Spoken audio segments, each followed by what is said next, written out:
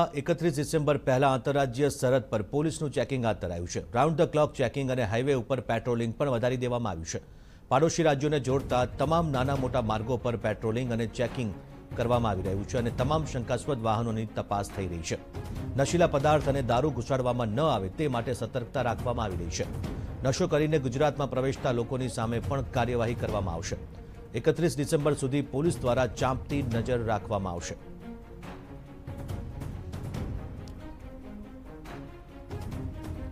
તો વધુ જાણકારી આપવા જોડાયા છે સંવાદદાતા અવનીશ ગોસ્વામી. અવનીશ, જે રીતે સરહદ બોર્ડર ઉપર જે અત્યારે ચેકિંગ કરવામાં આવી રહ્યું છે, કેવા પ્રકારે ખાસ તકેદારી રાખવામાં આવી રહી છે અને પોલીસ અત્યારે ખાસ તો કેવા પ્રમાણે સતર્કતામાં છે?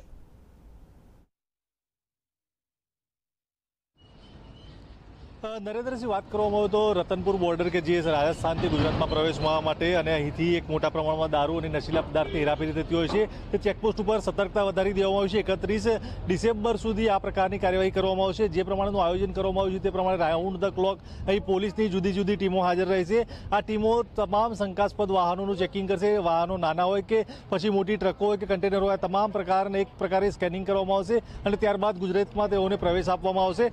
અત્યારે હાલ દર્શાવીશ જે પ્રમાણે અત્યારે હાલ આ પોલીસના કર્મચારીઓ છે તે અહીં ચેકપોસ્ટ ઉપર પોતાનું કાર્ય કરી રહ્યા છે. આ જ પ્રકારે અહીંથી તમામ વાહનોનું સ્કેનિંગ કરવામાં આવતું હોય ત્યારબાદ ગુજરાતમાં તેઓને પ્રવેશ મળતો હોય છે. એવા તમામ જે વાહનો હોય નાના હોય, મોટા હોય, તમામ વાહનોને જે છે તે અહીં રોકવામાં આવતા હોય છે અને રોક્યા બાદ તેઓને આગળ વધવા દેવામાં આવતા હોય છે. જે પ્રમાણે એકત્રીસ ડિસેમ્બર હોય છે તે તે દરમિયાન તેના સપ્તાહ પહેલાથી જે દારૂ ઘુસાડવા માટેની એક હેરાફેરીનો માહોલ શરૂ થતો હોય છે. તેને રોકવા માટે અને તેને નિયંત્રણ કરવા માટે થઈને આ પ્રકારે પ્રયાસ કરવામાં આવતો. છેલ્લા કેટલાક દિવસથી અરવલ્લી પોલીસ દ્વારા મોટા પ્રમાણમાં દારૂનો જથ્થો ઝડપવામાં આવ્યો છે. વહેલી સવારે પણ એક કન્ટેનર આ જ પ્રકારે ઝડપવામાં આવ્યું છે. તેમાંથી પણ મોટો જથ્થો પોલીસને હાથ લાગ્યો છે. એટલે કે જે પ્રમાણે ચેકિંગની કાર્યવાહી શરૂ કરી દેવામાં આવી છે, તે પ્રમાણે પોલીસને દારૂ ઘુસાડતો અટકાવવામાં સફળતા પણ મળી રહી છે. એટલે કે આજે વહેલી સવારે પણ આ જ પ્રકારની સફળતા હાથ લાગી છે. અત્યારે હાલ પણ આ જે માહોલ છે તે પ્રમાણે જોઈ શકાય છે આ પોલીસના કર્મચારીઓ કે જેઓ અહીં વાહન ચેકિંગ આ જ પ્રકારે નિયમિત રૂપે કરતા હોય છે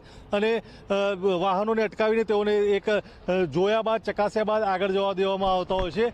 જોઈ શકાય છે, ફરી એકવાર આ દ્રશ્યોમાં એક કાર છે તેને પણ અત્યારે આ જ પ્રકારે ચકાસવામાં આવી રહી છે. પોલીસના કર્મચારીઓ દ્વારા તમામ વાહનો જે છે તેઓની ડીકી અને વાહનના અંદર કોણ મુસાફરી કરી રહ્યું છે, ક્યાં જવાના છે, ક્યાંથી આવતા હતા તે તમામ પ્રકારના પ્રાથમિક સવાલો પણ પૂછપરછ કરવામાં આવતો હોય છે. એકલ દુકલ કે અન્ય યુવાનો જે હોય તેઓને ખાસ પ્રકારે આ સવાલ અને તેઓની ઓળખ કર્યા બાદ ગુજરાતની અંદર પ્રવેશ કરવા દેવામાં આવતો હોય છે.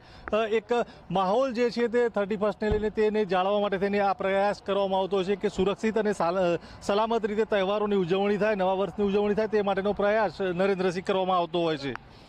આભાર, અવનીશ. સમગ્ર જાણકારી બદલ તો એકત્રીસ ડિસેમ્બર પહેલા આંતરરાજ્ય સરહદ પર પોલીસનું સઘન ચેકિંગ શરૂ થઈ ચૂક્યું છે. રતનપુર બોર્ડર ઉપર પણ પોલીસ દ્વારા તમામ જે શંકાસ્પદ વાહનો હોય તેની ચકાસણી કરવામાં આવી રહી છે અને કોઈ દારૂ કે અન્ય કોઈ જથ્થો લઈ જવામાં ન આવે તેની પણ ખાસ તકેદારી રાખવામાં આવી રહી છે.